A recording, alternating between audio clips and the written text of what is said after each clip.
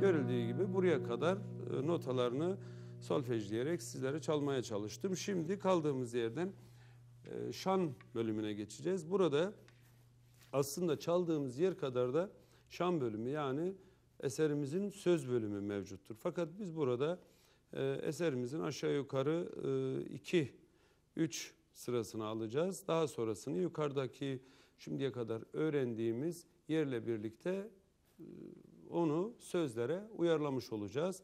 Şöyle serbest çalarken buradan doyu çarparak yapabilirsiniz. Bir, ikincisi sağ elimizi çalarken sağ elimizle parmaklarımızın yardımıyla eserimizi daha ah- ahenkli bir hale getirebiliriz. Şöyle parmaklarımızı sıralayarak teller üzerinden şöyle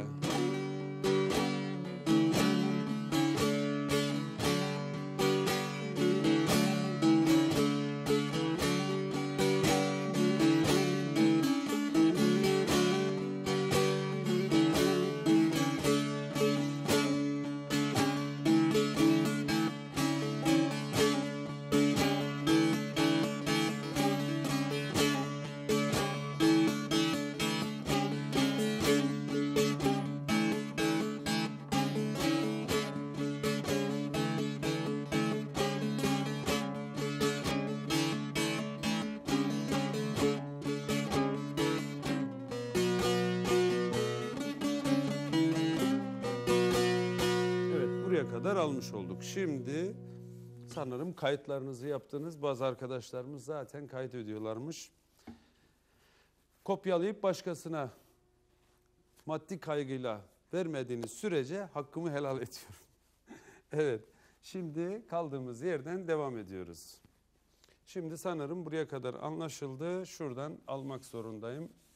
Çünkü başka türlü buraya sığdırmamız mümkün olmayacak. Yani 13. ölçüden devam edeceğiz.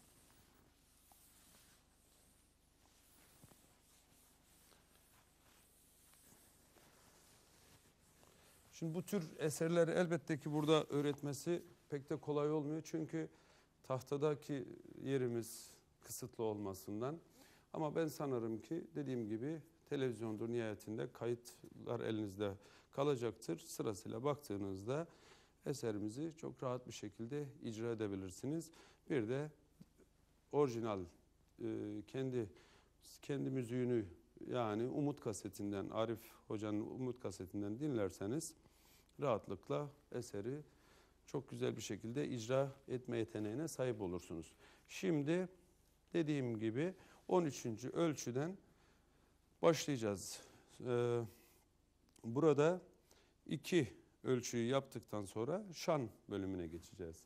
Şimdi eserimizi burada bir kalın bir ince olmak üzere iki çizgimizi koyduktan sonra si, donanımımız si bemol olarak durulmaktadır. Sol do si do yani şurada sol do si do sol do si do si do re do si do re do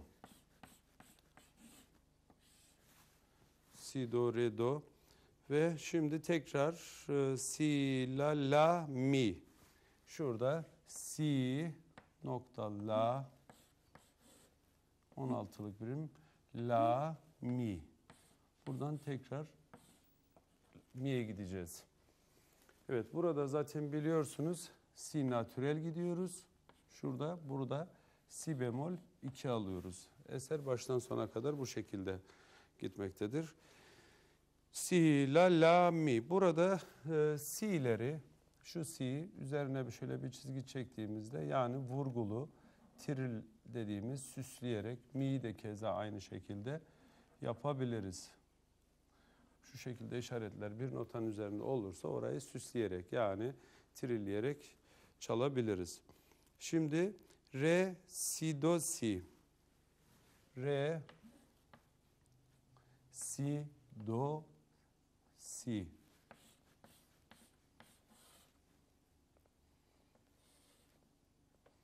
Si, do, si. Re, si do si do bir şuraya kadar gelmemiz lazım. Yanlışa meyan vermemek için şöyle. Re do re si do si. Re si do si. Evet do'dan si'ye geçiyoruz. Üçlüler mecbur bu şekilde noktamız olduğu için. Evet bu şekilde alıyoruz. Devam ediyoruz. Do si do si do re do si. La la la. Si do re do tekrar daha önceki olduğu gibi si la la burada karar sesine artık karar sesine gelmiş bulunuyoruz. Şimdi başta tekrar işareti olduğuna göre demek ki burada aynı işaretimizin bir tekrarı mevcuttur. Yani bu, bu görünen bölüm iki kez tekrar edilecektir. Şimdi burayı da aldığımız zaman şimdi buradaki durumda da yine aynısı si natürel ve burada si bemol 2 olarak alıyoruz. Buna dikkat etmemiz gerekir. Şimdi burayı yaptıktan sonra da şimdi eserimizin e, artık şan bölümüne gireceğiz. Burayı bir kez alalım. Daha sonra şan bölümüyle eserimizi devam edeceğiz. Buradaki olay da görüldüğü gibi sol do si do.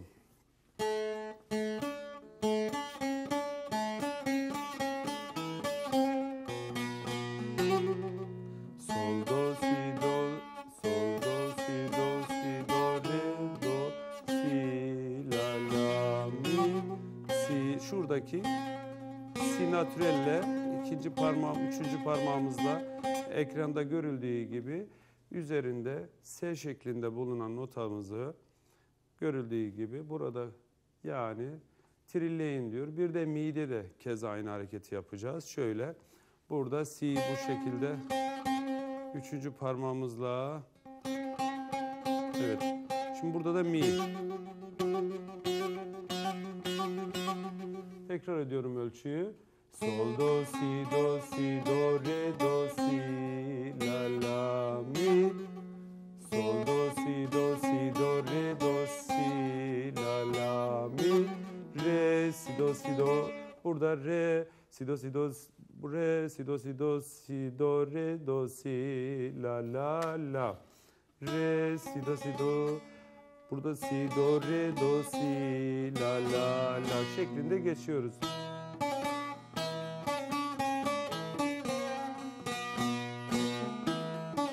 Burada çok hızlı bir şekilde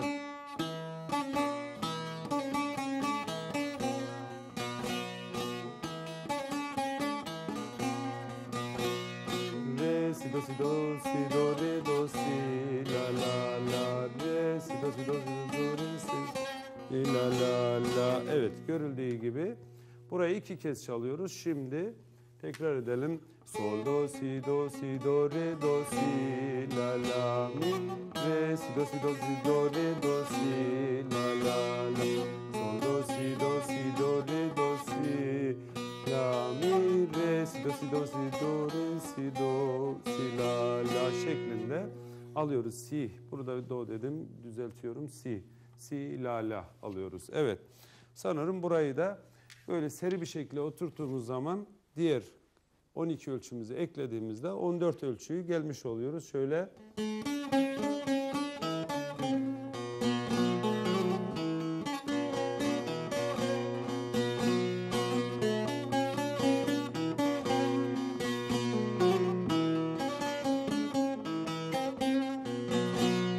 Evet görüldüğü gibi şimdi şan bölümüne geçeceğiz.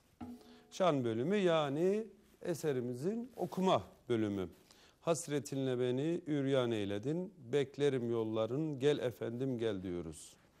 Daha sonra zaten gönül kuşu kalktı, cevlan eyledi. Daha önce altı kez tekrarladığımız ölçülere de